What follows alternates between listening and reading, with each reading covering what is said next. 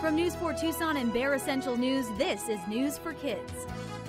Each fall, kids just like you are invited to KVOA for studi- New Tucson studios.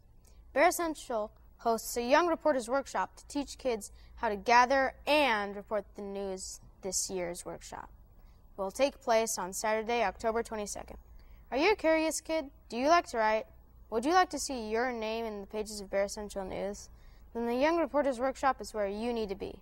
The workshop is free, but you must reserve a space. The workshop is open to kids in third grade up through eighth grade. To reserve your spot or to get more information, call 792 9930. This is Esai Aviles from Paulo Freire Freedom School for Bear Essential News.